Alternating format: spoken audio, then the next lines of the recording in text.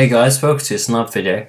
Today I'm going to show you how to switch your iMac off or I think it may work on PC, I'm not sure, from your phone. So what you want to do, you want to go over to the App Store. So let's grab the App Store and type in on the search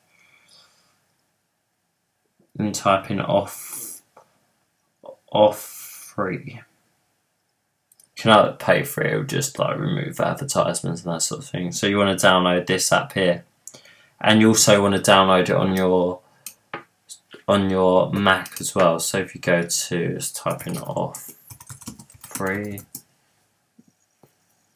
come on. Yeah. So you want off remote. You download this as well. So which you download from yeah, you could download from the App Store as well, I think. Yeah, so once you've downloaded it, which, so you've already purchased, so you download, download it here, so it is for Mac.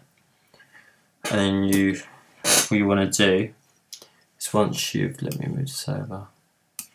So once you've downloaded that and opened it on your phone,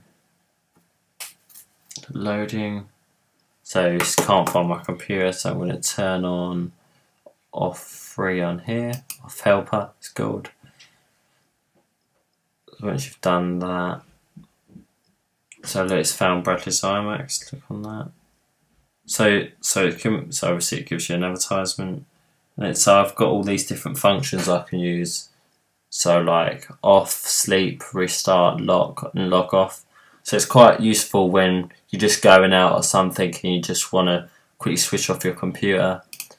So it's quite good, quite good to use. You can have a password and that sort of thing, so not anyone can anyone can turn off your computer from your phone and stuff like that.